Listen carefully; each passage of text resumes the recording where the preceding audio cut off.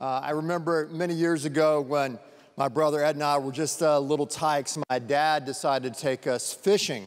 And so uh, we lived kind of way out in the country, and there was a lake um, near where we lived. And so we had this green metal boat. It was called a John boat. I don't know why, but it was one of those metal boats you would take out, and you'd have those feather paddles that you would use.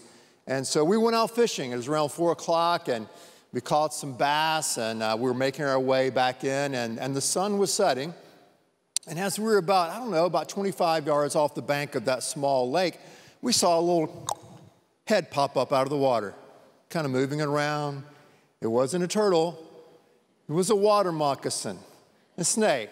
And so we'd seen those before, you know, no big deal. A little, hey, look, there's a water moccasin. Okay, great. And then we start getting and paddling in closer to shore, and we see another water moccasin to our, our left. And then we get closer, then another one. And then we finally are going to go and put our little metal boat back to where it stays down there by the lake and we noticed that where we normally put the boat there, there were just I don't know how many snakes. I mean, it was like a Hitchcock or a Tarantino movie, depending upon your age. And it was, it was frightening. I mean, it was crazy. So we didn't bank there. We, we got and, and, and kind of pull the boat to shore to the left of where we normally uh, would, would keep the boat. And, and we got out and we started walking on the banks of this, of this, of this lake and, and, and the sun was going down and it was dark, and we didn't know what to do. We were afraid. I mean, can you think of anything worse of being in the dark and snakes are slithering around your feet? Hey, I don't like that. I still don't like snakes. My brothers like snakes, they overcame it, but I don't like snakes. Call me crazy, call me a chicken. I don't know. I don't like them. They're ugly, they're slimy, they're sneaky, they're slithery. Crud, they're snakes, right? They're snakes. And snakes, you know, like to hang out in the dark. They don't just kind of walk around and slither around the light. They, they, they love the darkness. So my brother and I, as we were there trembling with my father, were, were filled with, with fear and wondering what we're going to do next. Um, I, I thought about that as we approach this time of the year and life, I, I thought about snakes and how no matter where you go, no matter where you live, there are always snakes slithering around. If you've worked long enough in your particular profession and field, you know that there are snakes out there, right? In school, junior high, high school, all over social media, snakes are out there. Have you noticed that? Maybe sometimes, maybe even in your family, there's one or two snakes there, right? You, you just don't know, but there are snakes everywhere we go. And when you look at the story of the Bible, uh, snakes were there in the beginning, right? In the garden, we have what we think is a snake that's tempting Adam and Eve. But we all have snakes we have to deal with, contend with.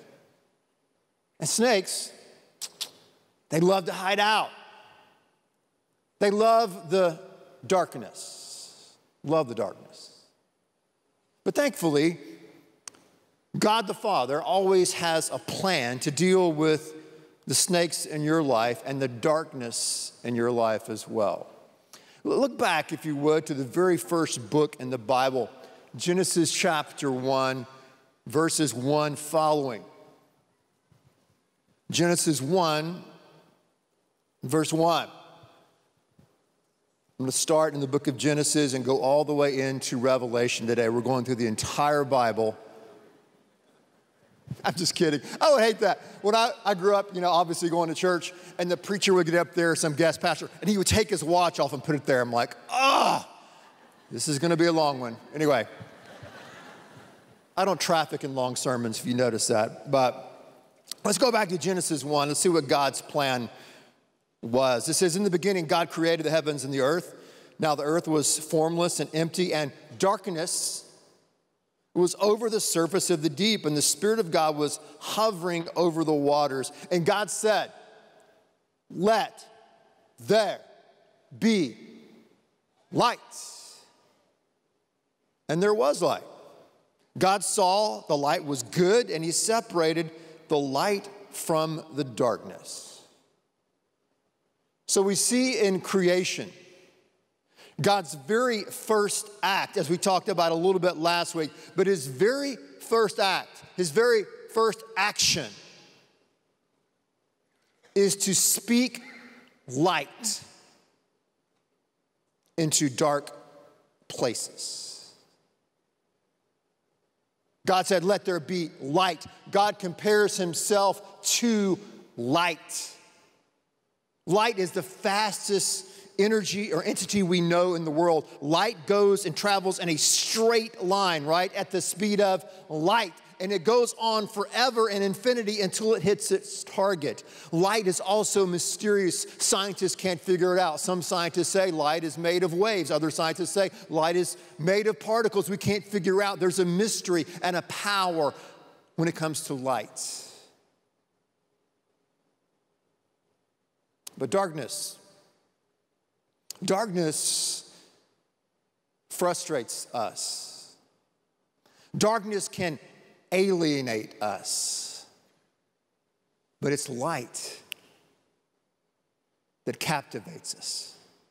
Light illuminates our path so that we can see and know the next step to take.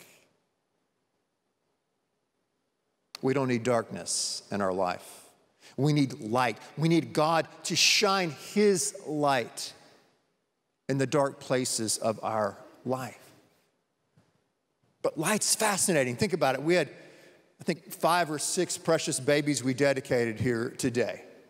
And even when they're what, four weeks old, six weeks old, the first thing that a little infant will lock on is what? Light.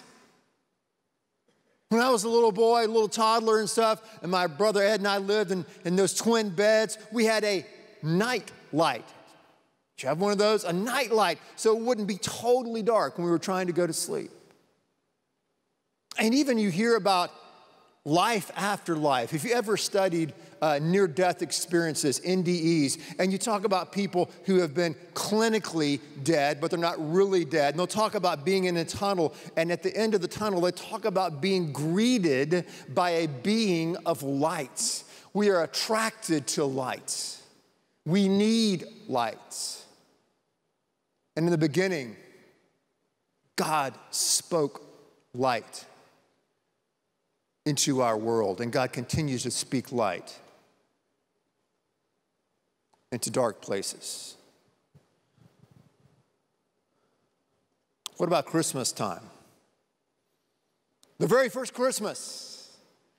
You know, we've kind of cleaned it all up, right? Now it's all neat and clean, nice clean stable, and Mary and Joseph are there, and nice clean robes they got out of the cleaners, and nice clean, non smelling animals, and, you know, there wasn't room in the hotel, but boy, that was a great stable, and we've cleaned it all up, and there's a star and magi and gifts away in a manger, blah, blah, blah. Right, we've cleaned it all up. It wasn't that way. At the time of the birth of Christ, there were many snakes slithering around. It was a dark time for the people of Israel. They were, had been invaded and they had been captured by the Romans. Caesar Augustus was in charge. The Roman Empire stretched all the way from modern day England to India. That's how much power Caesar Augustus had. Caesar Augustus considered himself to be, listen to this, his title was called the Son of God. And during his reign, when Christ was growing up, he made every single person line up before a magistrate and declare, listen to this, Caesar is Lord.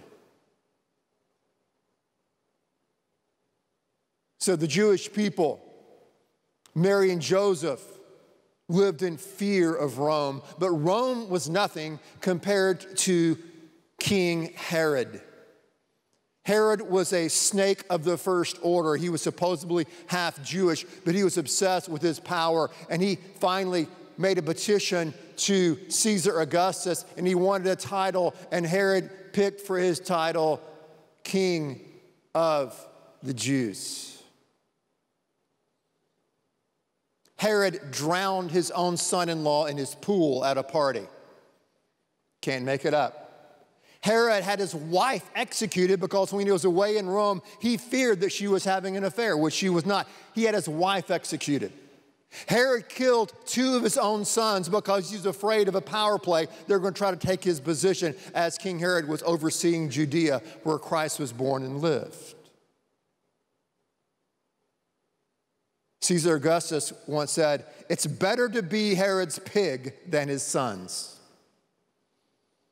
That's the kind of snake that Herod was.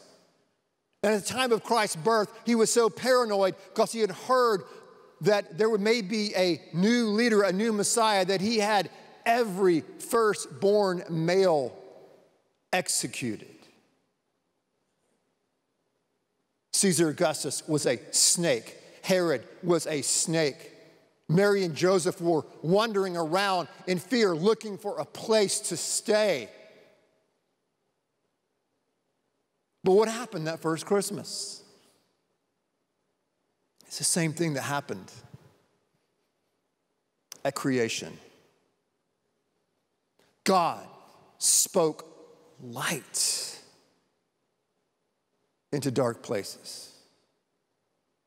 Shepherds are out tending their flock at night, drinking some bad coffee out of styrofoam cups on the night shift, and boom, God speaks light and gives him a light show and says, I am gonna come, I am gonna come down to earth, and my son, and he will be with you.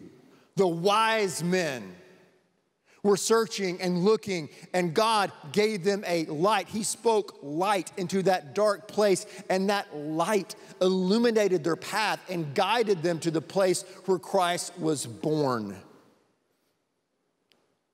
John wrote about it in John chapter 1.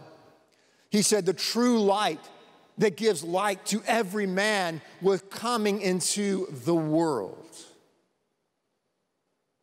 So at Christmas, that very first Christmas, God speaks light into dark places. In the midst of the fear, in the midst of the uncertainty of what's going to happen next to that poor couple, Mary and Joseph, of what's going to happen next to that nation, God speaks light into dark places.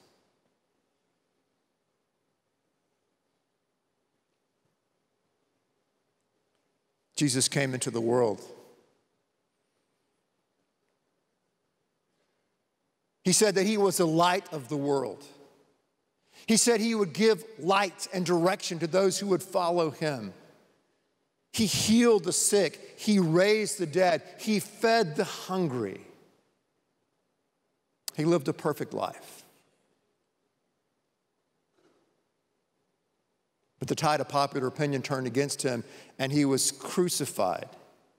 And on that cross, darkness covered the entire earth as he was separated for that moment as he took on the condemnation, the darkness, the sin, and the guilt of the world. And he cried out, My God, my God, why have you forsaken me? And darkness covered the earth.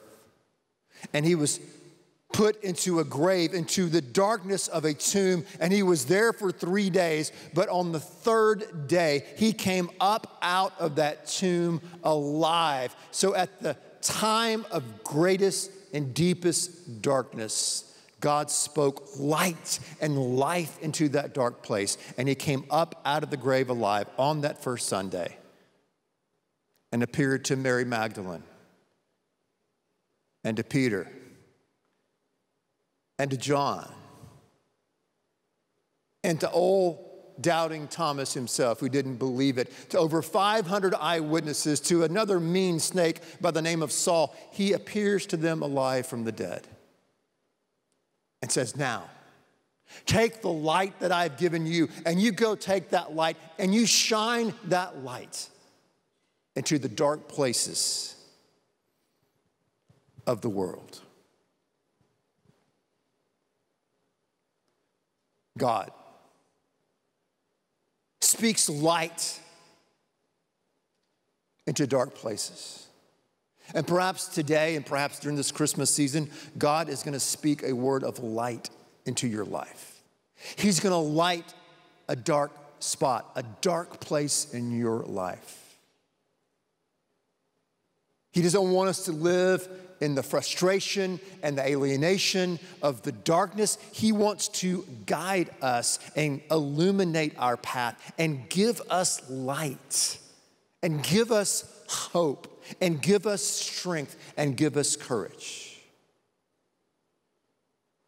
I don't know if you read lately in the last on several years, there's been an, an epidemic of people stealing little baby Jesuses out of manger scenes. I mean, have you heard about those stories? Okay, two people have. Okay, the rest of you, this is news. But seriously, you can read about it in papers throughout the United States. You can just Google it when you go home today, okay? Stealing baby Jesus, okay? So they're, they're just, they're, they're stealing it. And so all these people that have churches and other places where they have nativity scenes have come up with all kind of ideas on how not to steal Jesus. So some of the baby Jesuses are bolted. I like that. Bolted in the manger, and the manger is bolted in the ground. Others have put a GPS which I think is ingenious, embedded in baby Jesus. In case someone steals him, they can go out and, and find him. Okay? I find that interesting.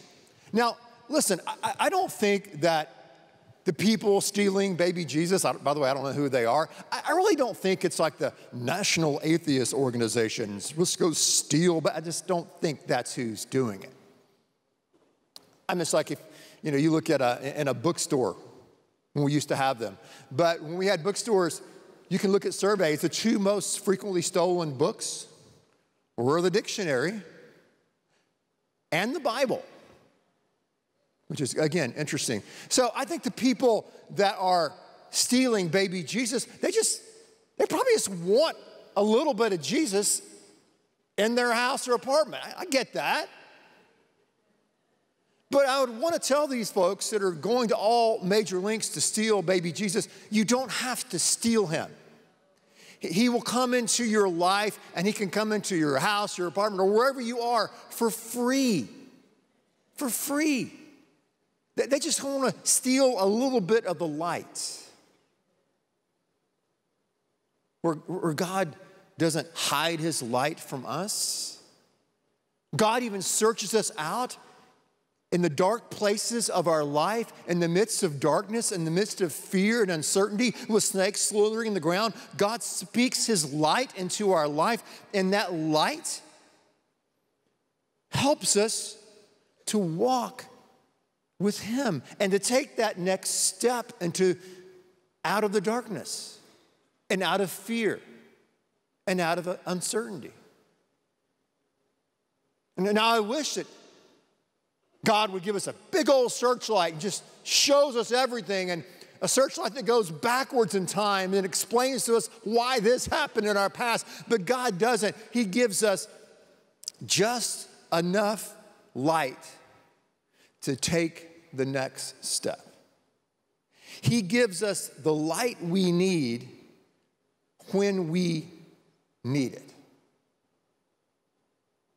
So, my, my prayer for you my prayer for myself is that God, that you would give me that light, that you would speak your light into the dark places of our life, that our path could be illuminated, that we could know the next step to take.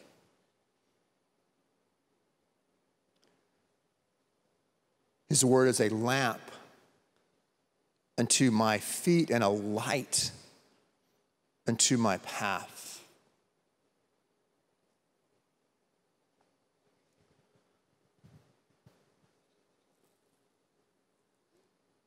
Oh, yeah.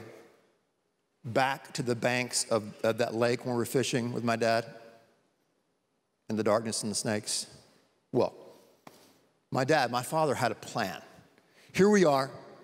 It's dark now snakes all around us. We're trying to figure out how we're going to make it home. And so my dad says, Hey, Ben, jump on my back. I did. Gave the flashlight to Ed Jr., which I thought was risky. Says, Here, here's a little light, Ed. You shine the light at our feet, and we'll walk slowly and try to find a way through the woods. And so I jumped on his back. Ed started taking that little flashlight and shining it. And the snakes, check this out, started slithering away. And we were able, he was able to kind of tiptoe and make it through the woods. And we saw another light at the top of the hill, which was our home. And as we went through the woods, as we got past the snakes, we followed that light until we arrived safely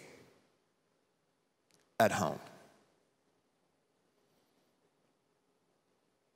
God gives us the right amount of light when we need it to deal with the snakes and the darkness and to lead us step by step all the way home.